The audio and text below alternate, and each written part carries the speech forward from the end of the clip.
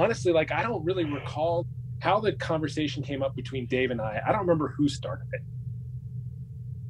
I don't remember like what we were doing that this came up in conversation. Although I remember we were in youth group together and then we had talked we talked like lots of different things, even spiritual things sometimes. And I don't know, maybe we just I think we just like we, we were very, very close back then. We would just tell each other everything.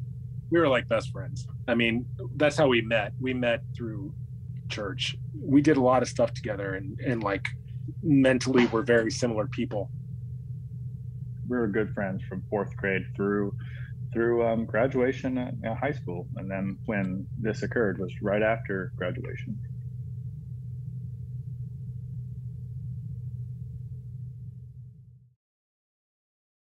In May of 1995, I was 17, about to be 18. Dave and I, we both went to Northminster Church, and we were very good friends for a long time through there.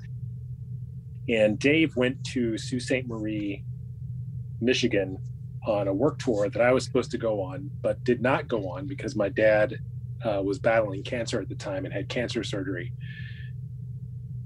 And so I stayed home. The, the day that Dave was coming back, that night, I had this dream, you know, just kind of a, a weird sort of dream. So we were having a, a party at my house.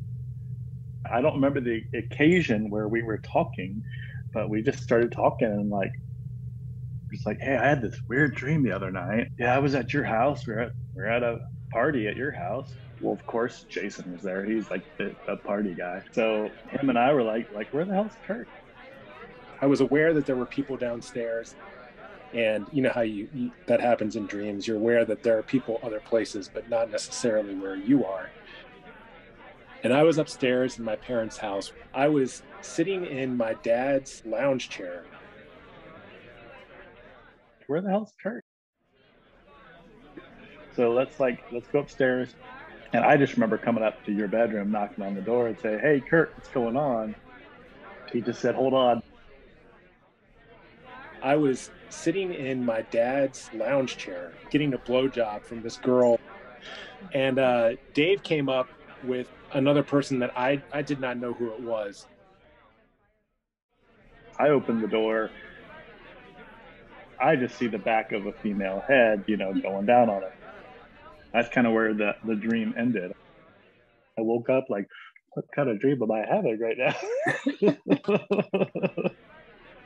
Dave came up and he was like, Hey man, are you coming down to the party? You're Like, what's going on? What are you doing? And I was like, come on, Christy, why don't you hurry up so we can leave? As far as I can remember it, uh, that's where the dream ends for me. I don't remember the occasion where we were talking, but we just started talking and like we just like said, "Yeah, I had this weird dream the other night," and and then Kurt's like, "Yeah, I did too." You were with this other guy, but I didn't see who the guy was, and Dave was like, "Oh, that was Jason," and he was like, I didn't see who the girl was, and I was like, oh, it's Christy. We shared our version of the dream, and it's like, why yeah, did we have really the bizarre. same dream?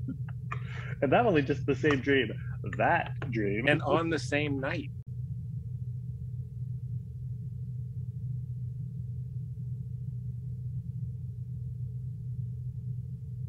I have mentioned it to a few other people, and every time I think there's no way this actually happened, but it actually happened it was just such a weird feeling. It was just like, you're not just saying this because I said that.